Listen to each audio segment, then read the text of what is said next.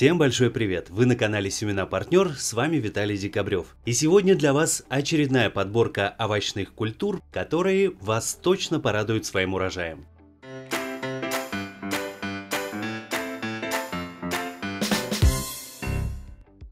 И начнем мы с капусты кальраби Виолетта. Давно мне нужно ее было убрать, но вот-вот-вот-вот и, в общем, дотяну. Но тем интересней попробовать на вкус, насколько она нежная. Ну, понятно, что кожица у нее уже, наверное, грубоватая. Но интересно, насколько мякоть вкусная и нежная. И заодно узнаю, растрескалась ли она внутри. Вообще капусту кальраби незаслуженно игнорируют наши огородники. А мне она очень нравится. Я ее использую и в рагу, и в свежем виде в салаты. Ее можно и жарить, и тушить, и, в общем, уникальная капустка. Давайте срежем. Вот она, красотка, хабары. Если стереть восковой налет, получается такой красивый насыщенный цвет и больше похоже даже на драконий фрукт. Капуста кальраби виолетта. Сейчас разрежу. Посмотрю, что внутри и попробую на вкус. Режется с трудом, конечно, капустка. Ну что, друзья, никаких пустот я здесь не наблюдаю. Полагаю, что около самого хвостика здесь она, конечно, будет очень жесткая, для пищи непригодная. Попробую.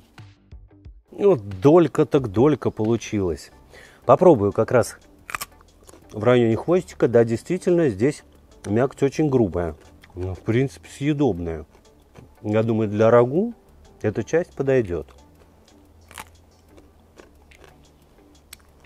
Ну а в верхней части она нежная, вкусная.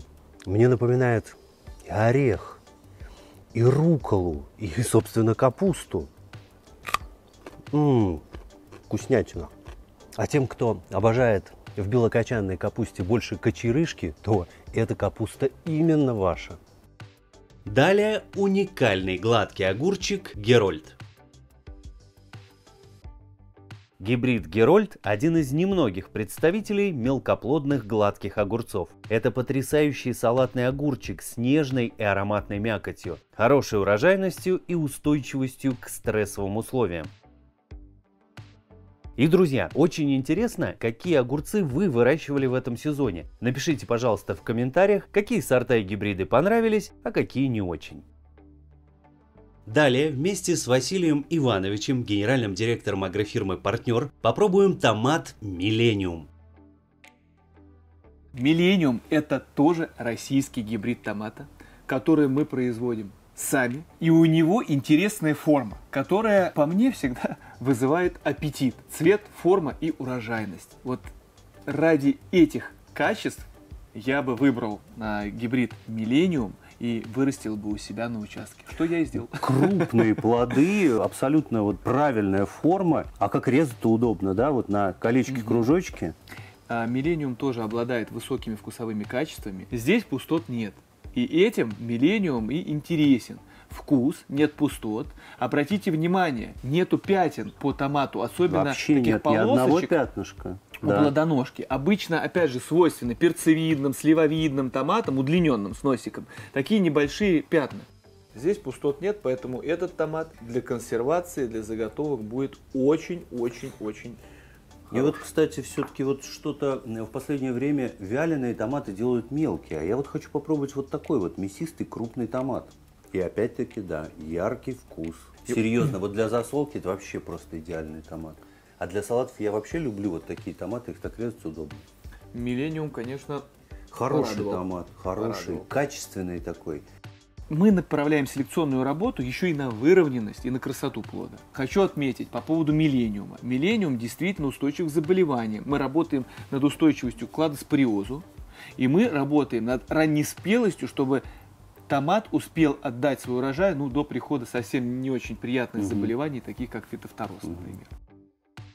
Ну а теперь я покажу вам баклажан, который получается даже у самых начинающих дачников. Это баклажан Андрюша. Поверьте, уж с ним проблем у вас точно не будет. Урожайность на высоте, завязываемость идеальная, вкусовые качества отличные. Это гибрид, он раннеспелый. От высадки 65-дневной рассады до технической спелости проходит 65 дней. Растение желательно формировать в три стебля. Высота растения 90-100 см. Кусты с сильным ростом полураскидистые. Плоды цилиндрической формы с некоторым расширением вершинной части. Глянцевые с темно-фиолетовой окраской, в большинстве своем выровненные по форме и размерам, длиной 20-22 см, массой 250 граммов. Мякоть плодов плотная, белая, сладковатая, в любом возрасте без горечи, с отличными вкусовыми качествами и с минимальным количеством семян. Этот гибрид устойчив к резким перепадам температур, а также вирусу табачной мозаики. На очереди сортовой томат «Прелесть Роузы», который никого не оставит равнодушным. И вот что примечательно, мне вот такого цвета томаты очень и очень нравятся. Бледно-бледно-желтые. Но, как выяснилось, большинство огородников предпочитают яркие томаты. Но, друзья, попробуйте вырастить прелесть роузы, и вы поймете, насколько этот томат вкусный и сладкий. А вот про урожайность, наверное, говорить не стоит. Про размер, я думаю, тоже не стоит, потому что вы сейчас его видите на экранах. Он настолько красивый, он настолько урожайный. Я просто уверен, что сосед по даче обязательно придет на дегустацию к вам и еще потом попросит семена. А семена действительно с этого томата собрать можно, поскольку это сорт, друзья. И давайте прямо на ваших глазах я сейчас попробую этот мясистый томат Посмотрите на разрез, какой красивый. Вы даже на видео это видите, что томат очень нежный. От вкуса можно с ума просто сойти, друзья. Томат индетерминантный, высокорослый. Можете выращивать как в открытом грунте, так и в теплице. Вы посмотрите, он практически не трещит, хотя в этом сезоне стоит страшная жара, и многие томаты э, дают трещины. Вот этот сорт показывает себя просто великолепно. Пожалуйста, запомните этот сорт еще раз. Он называется «Прелесть Роуза». А сейчас Василий Иванович Блокин-Мечталин расскажет о некоторой экзотике, которая растет на его участке.